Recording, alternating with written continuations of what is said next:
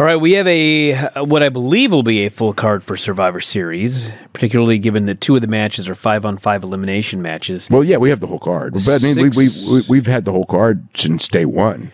I well, mean, sure, but they they they bothered to announce half of the matches on the Go Home show here today.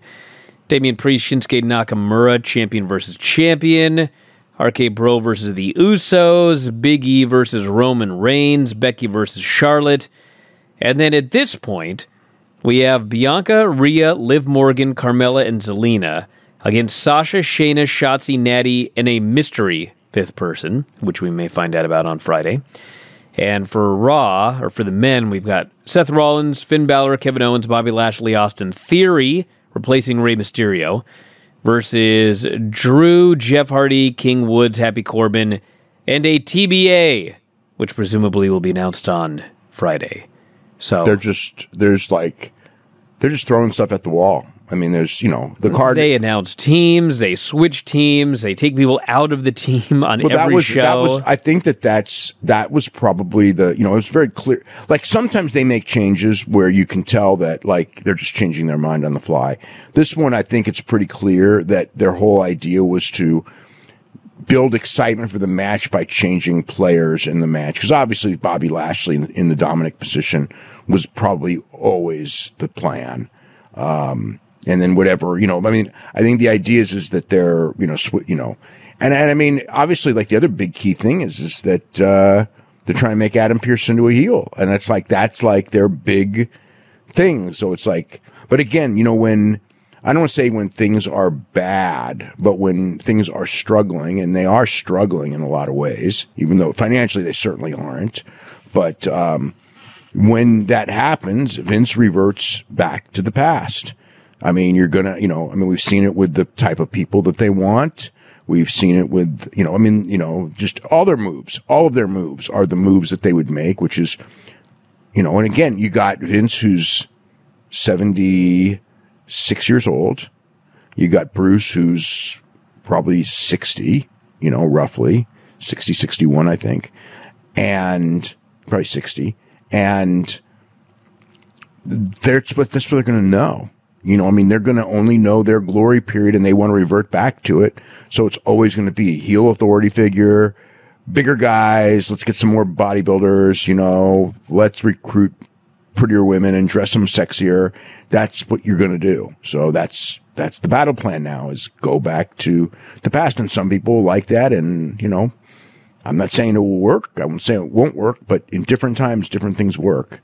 And, um, usually, usually when things bounce back, they don't bounce back by copying the past. They bounce back by, um, coming up with new things and new ideas and things like that. But, um, but we're probably not going to have, I mean, like, you know, from the people in charge, we're not going to have new ideas. We're, you know, that's just, it's just not going to happen with the people that they have in charge right now.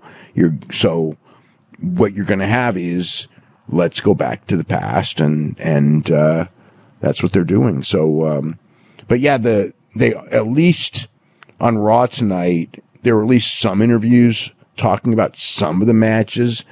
There was sort of an angle for the RK Bro and Usos. I mean, they, they did something, which is more than you can say. Roman Reigns and Big E, you know, pretty much have done nothing other than there was a promo, you know, by, um, Rain, I mean, by- Big E tonight. And I'm sure Reigns will probably do a promo on Friday.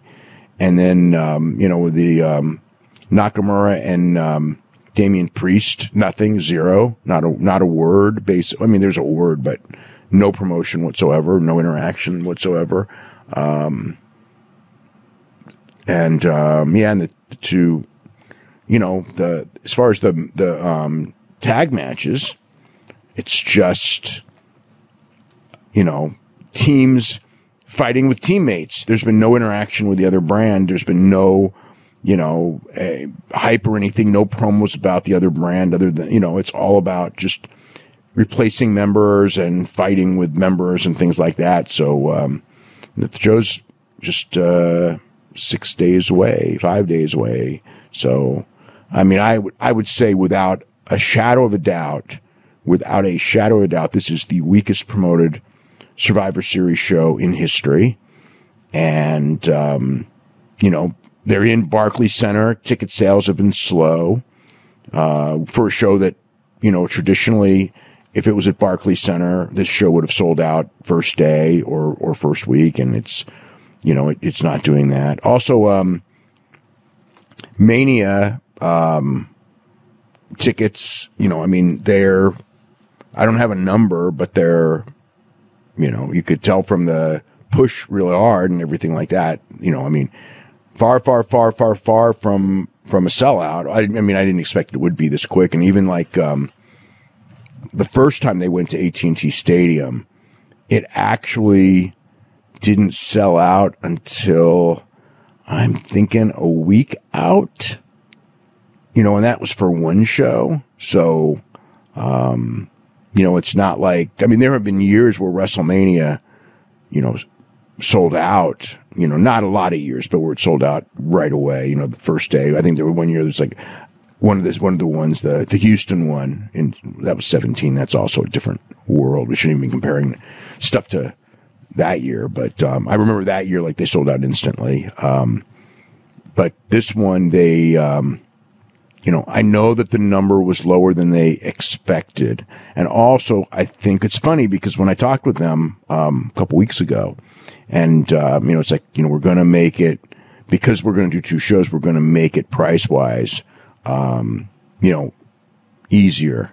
And they did not do that. And that may have been a mistake. I mean, the price is really high, high enough to scare people away. And that's the one thing is like you, you know, I mean, there is a certain thing you can charge more money for WrestleMania than any other show. Um, and, but there is a limit you know, in everything as far as how much you can charge. I mean, and each market has a different limit. I mean, the New York market is like what you can charge in New York or what you can charge in Las Vegas are much, much higher numbers than what you could charge in other markets.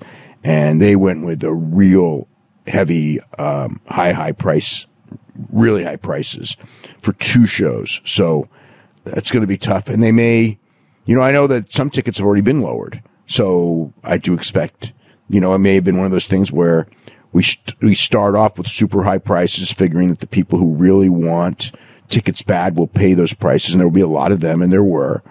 Um, and then we start lowering it afterwards. So that may be, you know, how it all turns out is then they're going to start lowering it and trying to get more people, which is, um, I mean, that's the way tickets are now. I mean, I would say like, you know, it, it used to be, you know, the, they would put tickets on sale for a show and these are the prices and that's the deal. You know, now you put tickets on sale, you go with very, very high prices and you sell the high price tickets to the people who want them fast.